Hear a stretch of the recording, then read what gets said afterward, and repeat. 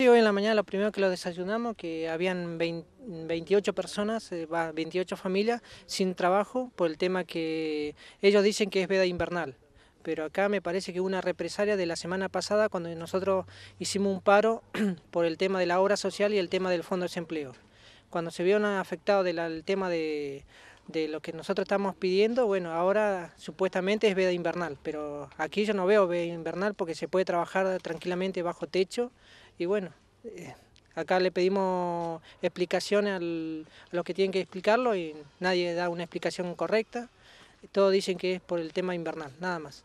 Ustedes recibieron el telegrama de despido de la empresa que los contrató. Sí, nosotros recibimos el telegrama, eh, supuestamente un telegrama, porque es, es una copia nomás, una fotocopia que dieron, nada más, que supuestamente esto salió el día 17 y nosotros lo enteramos hoy.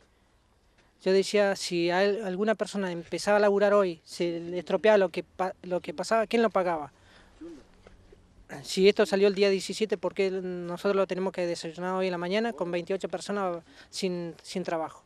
¿Las 28 personas son el total de los que estaban trabajando aquí o hay un grupo que no ha sido despedido? No, hay un grupo que no ha sido despedido que está en el CEN 30, porque yo, calculo que si llegan a sacar personal del CEN 30, los padres que están esperando la escuela se le va a venir a, en patota.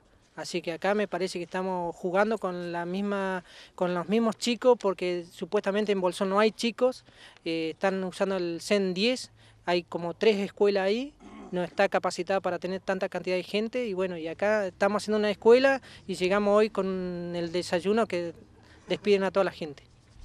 Entonces, con estos 28 despidos, en esta escuela al menos no queda ningún obrero. No, no queda ningún obrero, solamente quedan serenos nomás y bueno, gente que está trabajando en el CEN 30. En el CEN, sí, el CEN 30. Cuando ustedes los contrataron, ¿les confirmaron de alguna manera o les dijeron que en la veda invernal ustedes podían ser despedidos?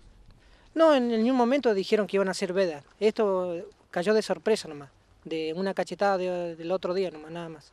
Ustedes entienden que puede ser una, digamos, de algún modo castigo por haber hecho eh, medidas de fuerza. Sí, yo calculo que fue castigo, nada más. Para mí es eso.